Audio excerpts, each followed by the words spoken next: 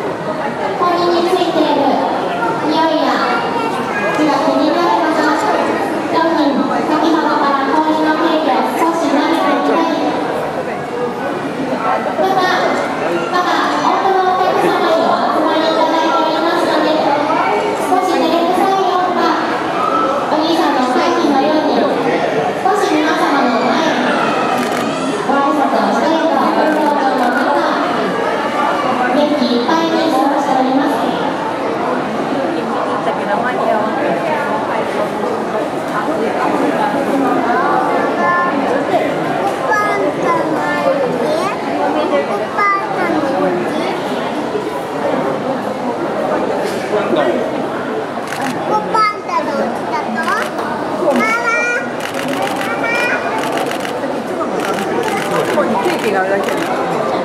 처음에 얘기 나고 뭐가 웃기고